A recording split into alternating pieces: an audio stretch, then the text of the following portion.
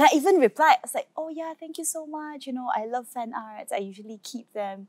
And she's like, yeah, yeah, uh, I'm not done yet. This is a video. It was a 20 second video. And I saw something holding the thumb. And I was moving up and down, up and down. I was like, Oh, it's not a thumb. no, it was not a thumb. It's just Hey all, welcome back to another episode of Let's Chuck It Out. Today we have a special guest, Koe Yeet. She's a celebrity actress and also social media influencer.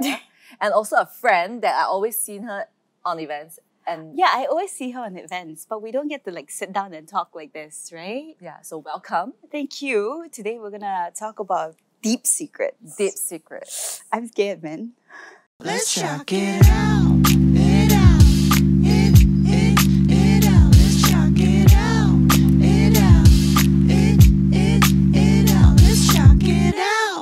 I didn't know this until I saw this. Yes.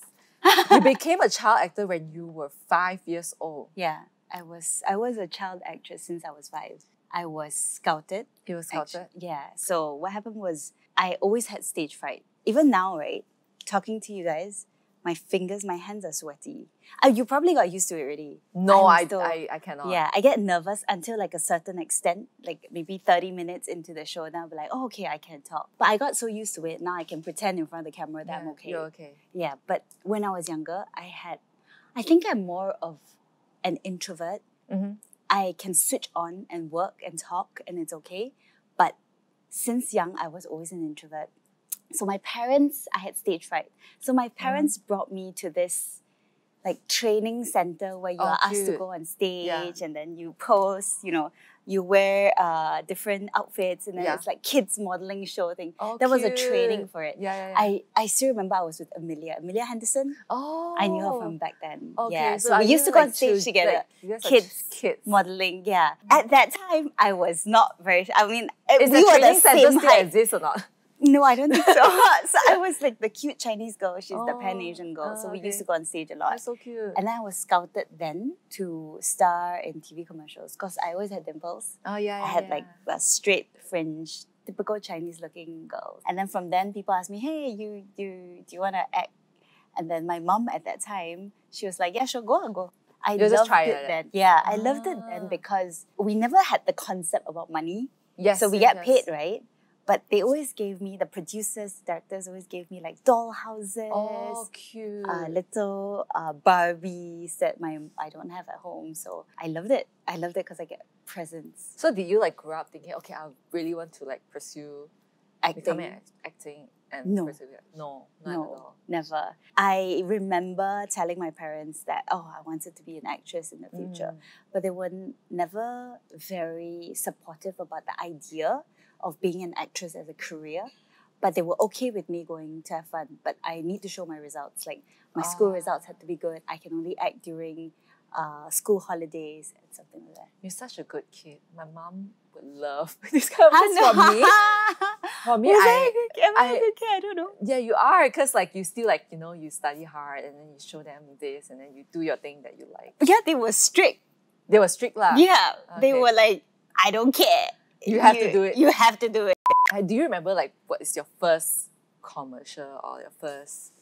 My first TV commercial was Danone biscuit. Oh my goodness, I still remember the, How the old were you? tagline. It's like Danone 分享健康每一 Oh my天, something like that. Like you God. eat a biscuit and you then you go like, mm, so good. So that role was not mine actually. They Oh, okay. hired someone else. A girl, if I'm not mistaken, Pan Asian, Angmo mixed Chinese girl, Mm. very pretty. But they asked her to eat so much biscuits and asked her to do so many times that she didn't like cried. it and she Oh. cried. Oh. So I remember we were all in Ipoh. I remember this clearly because my mom also told me the story. So I'm like, oh, okay, that's the story. They called my parents and said, hi, I need your daughter to come in Does your daughter like to eat tomorrow. biscuits? I auditioned for it. Oh, I, okay. I, normal, ah, like Yeah. when you audition, you don't actually eat biscuits, yeah. so they wouldn't know as well. yeah, yeah. My parents drew, drove me to KL and then just went for it. And I had to speak Mandarin and English. And then I Ah. did. I managed to. And I just loved it. How, how old were you? I was five, five Oh, something, So five cute, and a you half. remember. So I did this uh, TV commercial, Mhm. also for Biscuit. Mhm. So I auditioned for the role. lah. So the role was a DJ. The main role is a DJ. So Okay. I went there and I, I didn't get the role. I got like the side role. lah. Okay. And then I went for a, like a 24 hour shoot okay. and I never seen me in that whole commercial. So you I was a- so psyched until you cannot find me. But it was you, like a but one. it was a 24 hour it was a 24 hour shoot. it's so not worth and I get paid like I don't know how much, like 150 bucks. okay. yeah, It's so not so worth it's it. like so funny.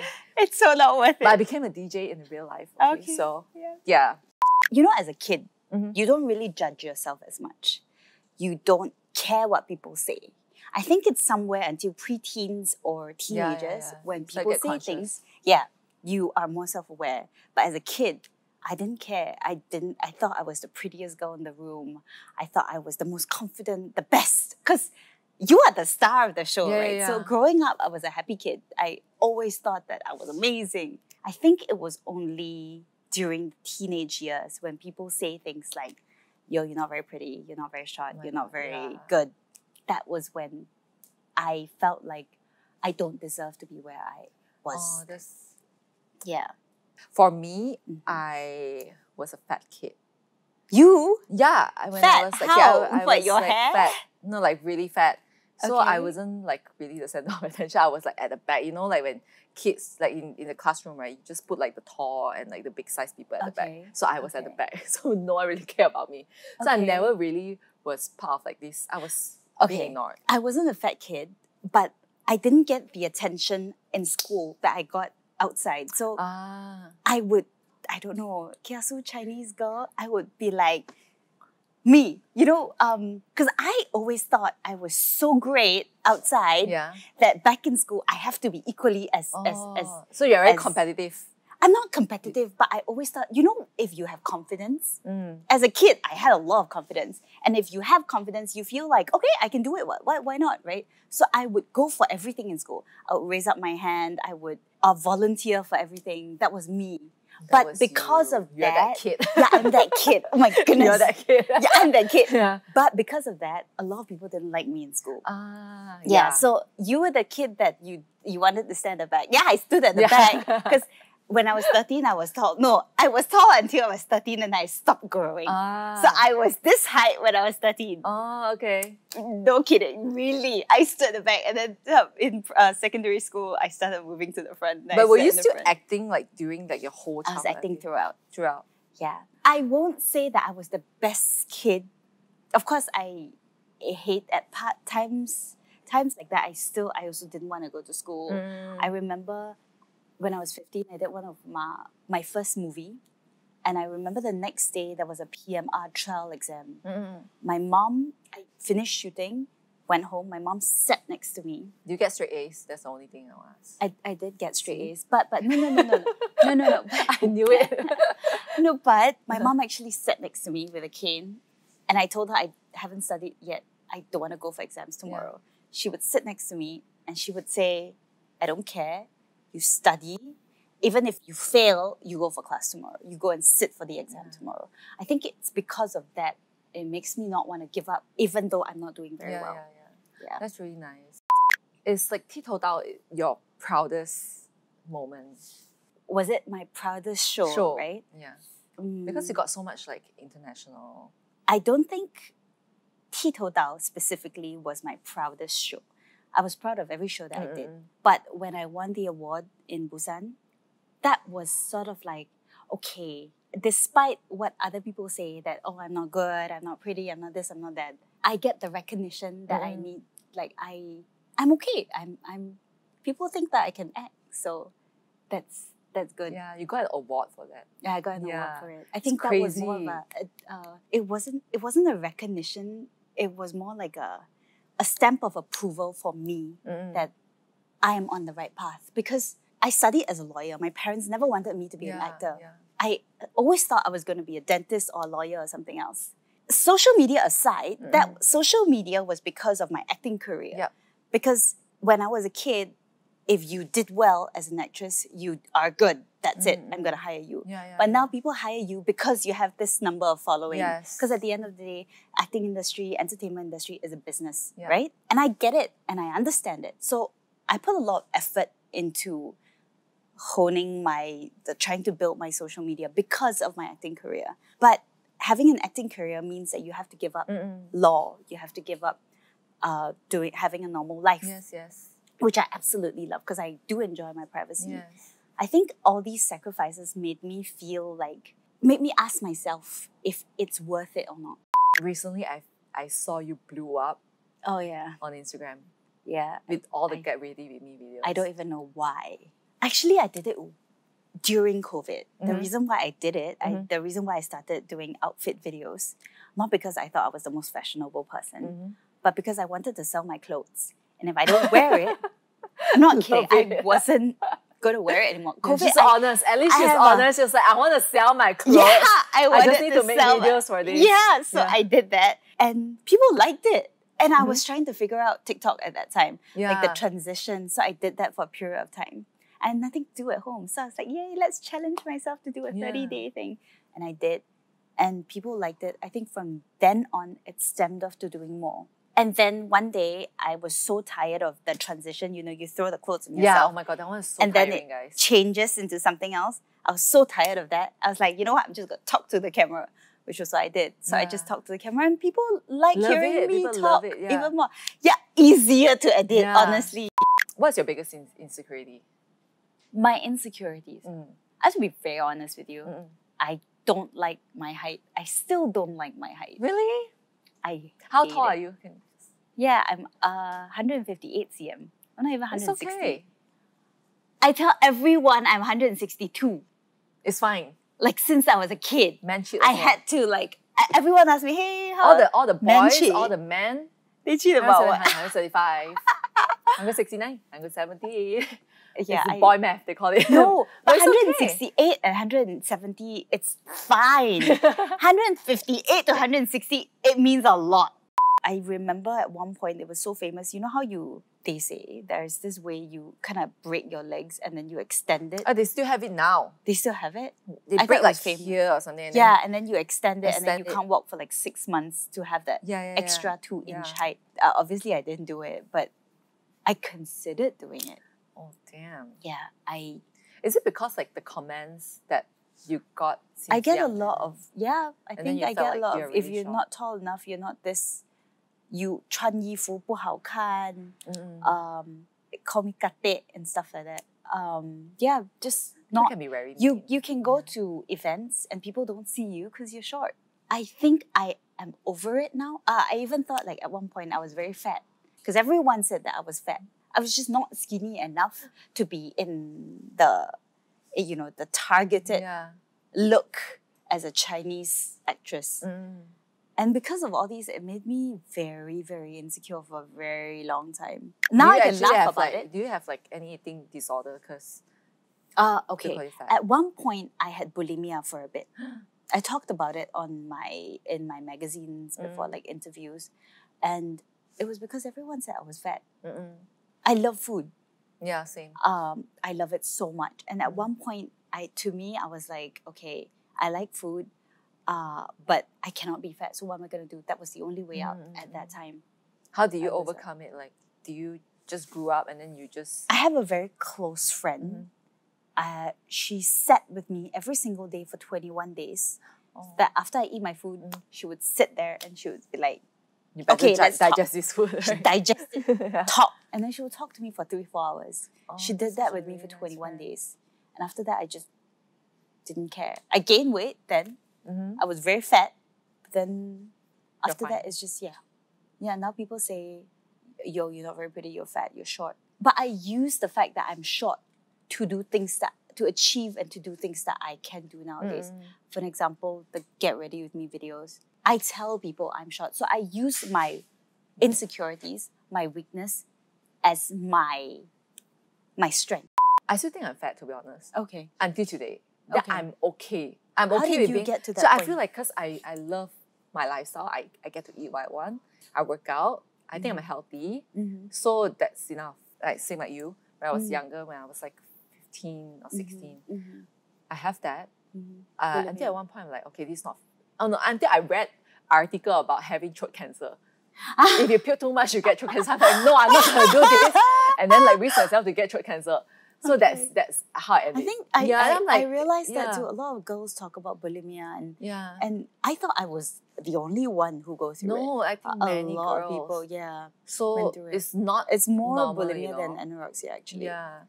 So as long as I feel you're healthy, you're happy, Mhm. that's fine.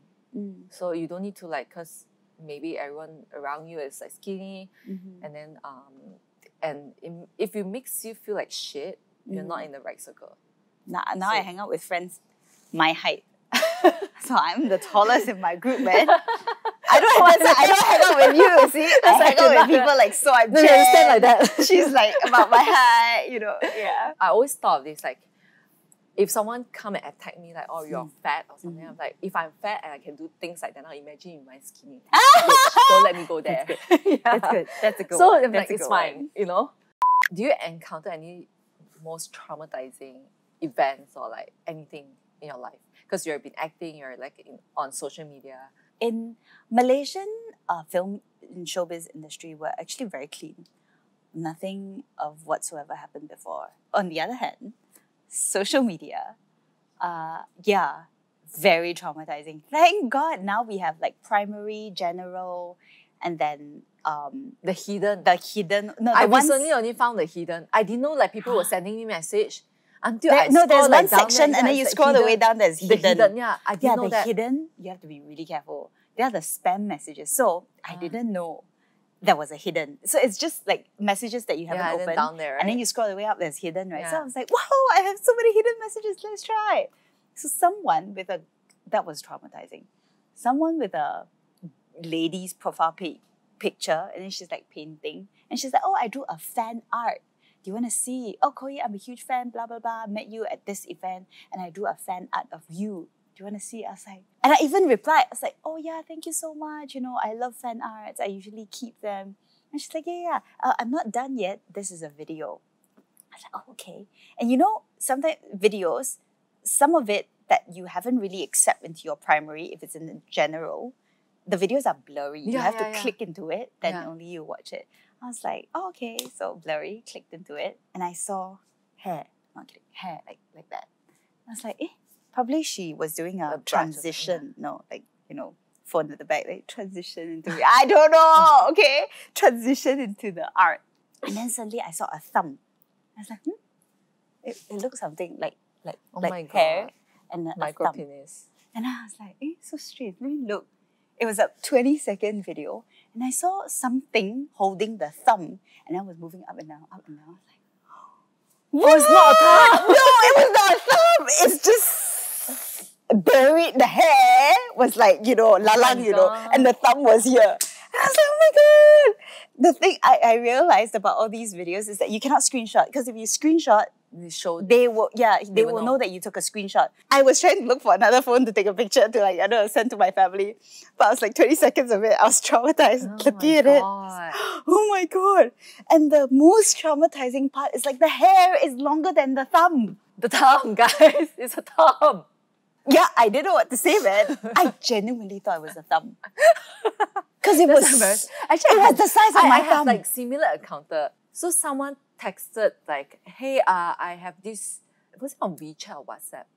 It's probably on WhatsApp. okay So I have this job on like for blah blah blah. I know I got your number from this guy from this agency. okay okay, okay. Um, there's this job that wants that I can brief you the the the deck about. Can I give you a call? okay And I'm like, oh, okay. Then he just called and then video call. Same thing.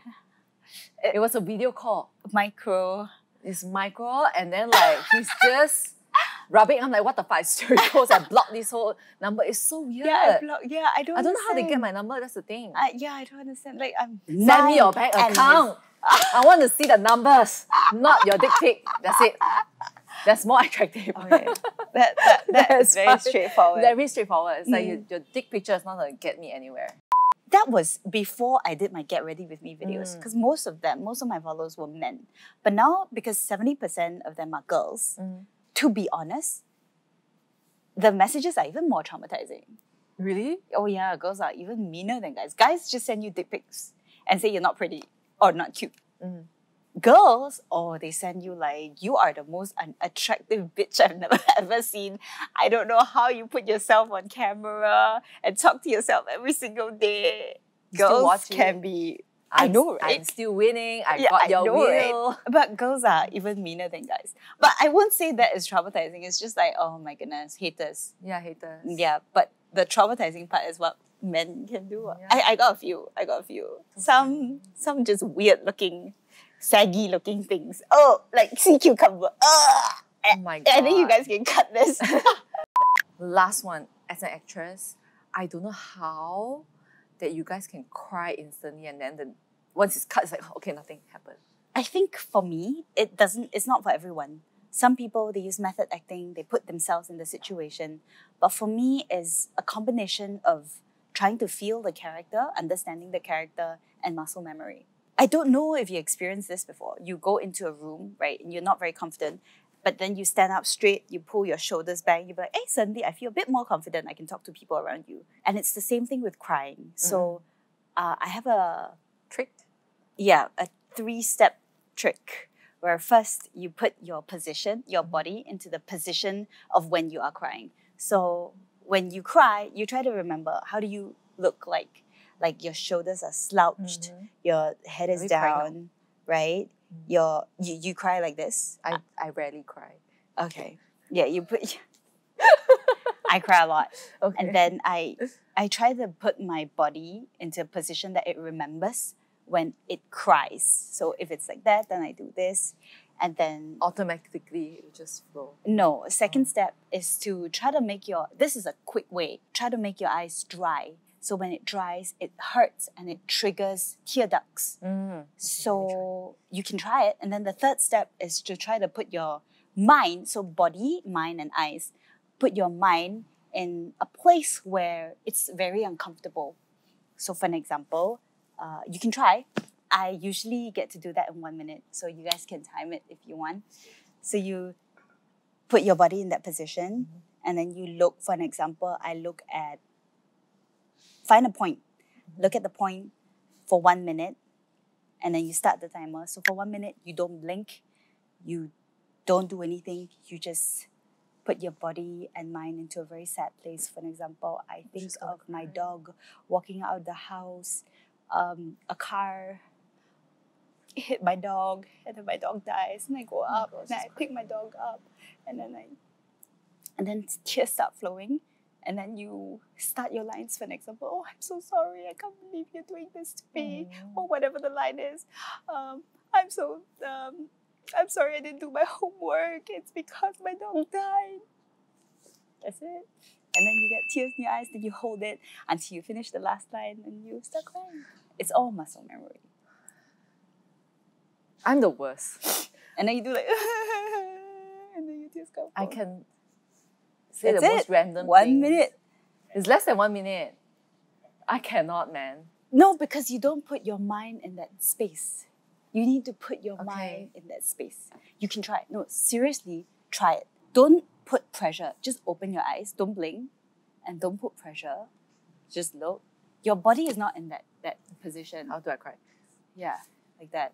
And then think about why are you so silly? Why you make your eyes hurt? This is ridiculous. You're seriously sitting in front of four people and throwing everything out to a bunch of strangers for what? Life sucks. No? It's drying. it's drying. it's dry. I feel my contact lens is coming off. I'm like, okay, maybe I should do that. But it's like it's I think it's so it's, impossible. it's not that easy, guys. It's not hard. It's not hard for you. You've acting for years. No, no. Crying is the easiest part of being an actress. Ah, okay. Don't get it wrong. Okay, what's A the lot of hardest? Building a character from nothing. So they give you a line, for an example, Jane. Jane is who? I for an example, you. If I'm Mm. acting you in your biopic, right? That's the hardest because I have to build You you, to from act like- nothing. yeah. For an example, you take the cup. Why? Why do you drink in this kind of cup? Why white color? Why this? Why is Chuck's Chuck's? Why is Mother Chucker Mother Chucker? So I have to build those from nothing. Oh. That is more difficult. On camera, yes, because visually people need to know that you're sad, so you need the tears. Yeah. That is just an accessory. Yeah. But your lines and the words, the way you say it, that is what touch people, not your tears. True. I actually use crying to help me achieve something before. So, uh, Girl math. I I was going to Singapore. yeah. I had a press conference in the morning. I had to catch a flight. I was not late if I don't check in, but they said my luggage was too heavy, so I had to go and check in my luggage. But I cannot check in my luggage because the Oh, check-in yes, time is passed has passed already. You have to go straight in. So that was what I did. Uh, they said no, no, you have to buy the next flight. But if I buy the next flight, I'm gonna miss my um, my press conference. So I went up to the counter. Uh, my my yeah, uh, the agent was there. The the, uh, the PA went with me, and then I was like, "You don't say anything." I went up to the guy. I was like, "My grandma's dying. That Like, if. I miss this, I'm never gonna see her ever again. How can you do this to me?" And then the guy's like, "No, no, cannot, cannot, cannot." Then I was like, You start throwing. Uh, then no no no throwing up no and then the girl next no sorry I cried to the guy and then the girl on the next counter said apa lah you macam boleh macam ni let her go let her go and I was like Oh, "Ah, thank you so much thank you walks in I was like I'm done. done let's that go is in. a good tool, guys. Try to learn how to cry on the spot. yeah you can use it in somewhere. airports Never know. Thank you so much, Chloe, for joining us today. I guess we learned a lot, especially how to cry and how to use it. And if you want to be an actress or if you want to be an entrepreneur like Jane, if you want to be a social media influencer, whatever you want to be, I think at the end of the day, know what value you can give to other people. Life is so much more than just social media or being the best. Yeah. Enjoy what you have now. And I think one day you're going to look back and go like, oh, okay, I lived a very good life. I don't need other people's recognition. I think that's the most important. Thank you so much. Thank you. you. Thank you for having me. Bye. I'm going to get free mask, right? Yeah. Yeah, yay! Yeah. I said it. It's on camera. It's on camera, guys. yeah, I bet Yes, I said it. Yes.